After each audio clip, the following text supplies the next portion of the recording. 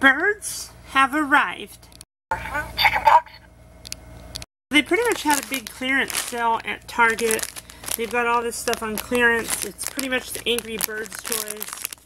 Got Terrence, Chuck, Leonard, Matilda,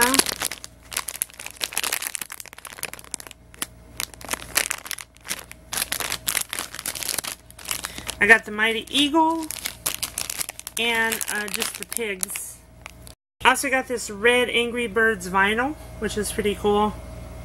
It's on clearance.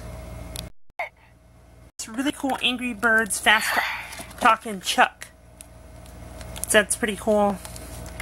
These are actually pretty cool toys. Like, I know they came out when the movie came, came out, but I didn't really watch it. I mean, I saw the movie, but I didn't really buy the toys.